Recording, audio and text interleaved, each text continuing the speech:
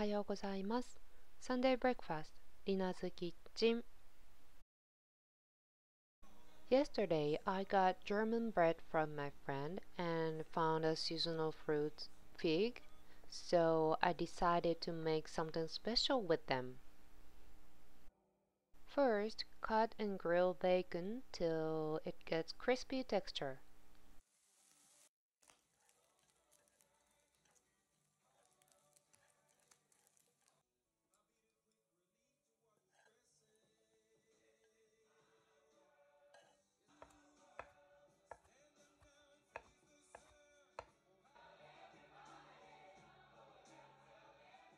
And cut walnuts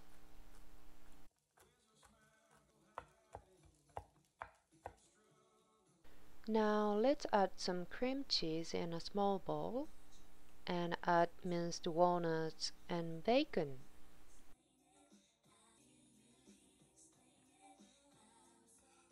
And mix them well and add white pepper and mix again and done. Now I prepare butter sauteed figs. Cut figs and put some butter in a pan and heat and add figs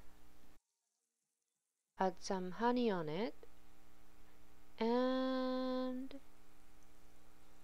flip them up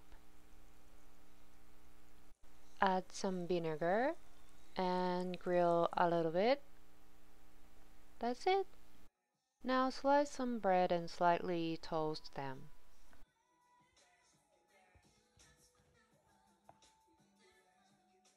I want some protein for breakfast, so I make tamagoyaki as well. Add soy milk, soy sauce, mirin, dashi, and sugar, and whisk. Fry a whisked egg in a special squared pan for tamagoyaki.